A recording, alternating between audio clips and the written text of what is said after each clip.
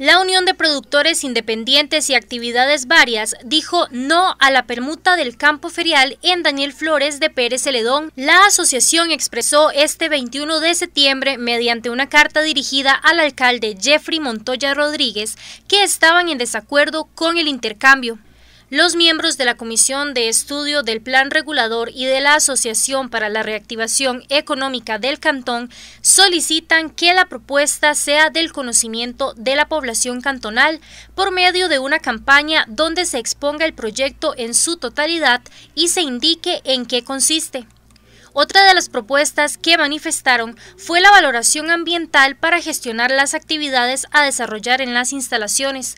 Además, una serie de estudios en relación con factores como el manejo de aguas servidas, desechos fecales, desechos sólidos, desechos de animales e industriales. También la habilitación de parqueos que requiere de trámites por parte de la Secretaría Técnica Nacional Ambiental, entre otras variables pertinentes a las actividades. Según el artículo número 2 del decreto 31.849 del Código Municipal, la evaluación de impacto ambiental debe ejecutarse antes de comenzar cualquier actividad, obra o proyecto con fines industriales o urbanísticos, permisos para construcción, trámites concernientes al uso del suelo y aprovechamiento de recursos naturales. CETENA mantiene dos criterios para completar la evaluación.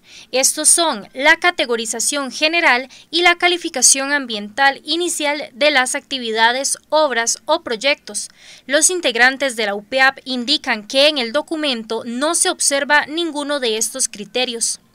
Por otra parte, la asociación insta a que se coloque el nombre y registro de la persona que diseñó el plano de las nuevas instalaciones ante el Colegio Federado de Ingenieros y de Arquitectos de Costa Rica. De acuerdo con los oponentes de la permuta, en el expediente existen dos documentos del Ministerio del Ambiente y Energía y la Municipalidad de Pérez Celedón que indican la existencia de cuerpos de aguas en la propiedad ofrecida a cambio. La inquietud se debe a que estos documentos no aparecen en el plano catastrado.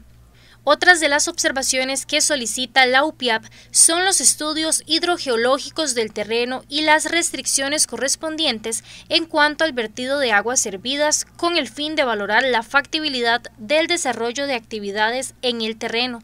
La Cámara de Ganaderos Unidos del Sur desaprueba el proyecto y la Cámara de Comercio solicita realizar más estudios para asegurar su viabilidad.